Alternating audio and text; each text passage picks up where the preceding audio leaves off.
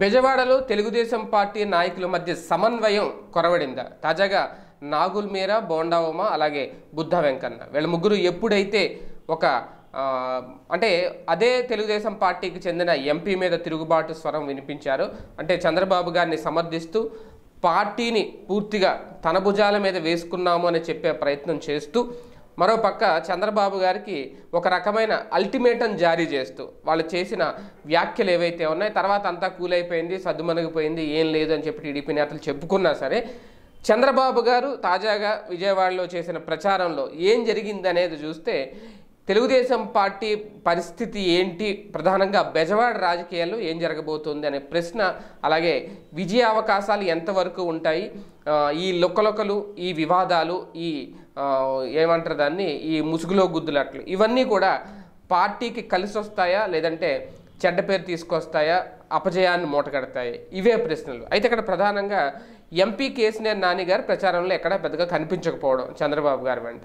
ఈ ముగ్గురు నేతలు కూడా ఏదో ఉన్నామా అన్నట్టుగా ఏదో మమ అనిపించుకున్నట్టే ప్రచారంలో కనిపించారు. కానీ అంతకుమించి చంద్రబాబు గారు చే సాగించిన ప్రచారంలో ఎక్కడా పెద్దగా జోష్గా లేకపోవడం యాక్టివ్ రోల్ పోషించకపోవడం ఇవన్నీ చూసినప్పుడు బెజవాడలో ప్రధానంగా తెలుగుదేశం పార్టీ పరిస్థితి ఏంటి? ఆయన ఏదో వచ్చి అంటే ఆయన వచ్చి ముందే ఈ గలాట అంతా జరగడం ఆయన వచ్చి ముందే వీళ్ళు ఎంపీ కేసీఆర్ నాని గారి మీద తమ వ్యతిరేకత బహిరంగంగా మీడియా ముందు వ్యక్తం చేయడం. ఎన్ననుకున్న ఆ మాటలను వెనక్కి తీసుకోలేరు.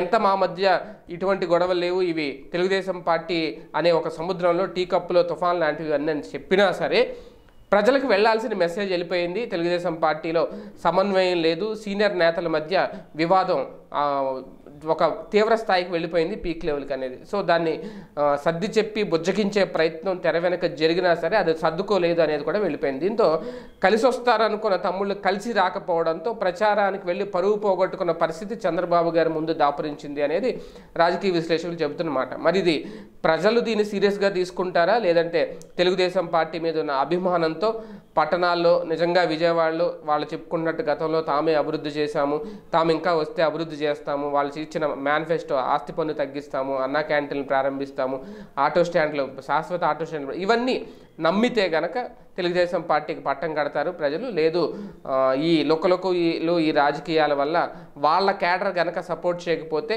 వాళ్ళ క్యాడర్ కూడా ఒకవేళ ఎందుకంటే ఎంపీ కేసీఆర్ నాని గారి కుమార్తె శ్వేత అక్కడ బరిలో ఉన్నారు కాబట్టి మేయర్ అభ్యర్థిగా ఒకవేళ తిరుగుబాటు అనేది కనిపిస్తే కనుక తెలుగుదేశం పార్టీ పరిస్థితి ఏ విధంగా ఉంటుందనేది ప్రజలు ఇచ్చే తీర్పుని బట్టి చూడాలి. ఈ వీడియో గనక మీకు నచ్చినట్లయితే లైక్ చేయండి షేర్ చేయండి. మరిన్ని వీడియోస్ కోసం మా ఛానల్ను సబ్స్క్రైబ్ చేయండి.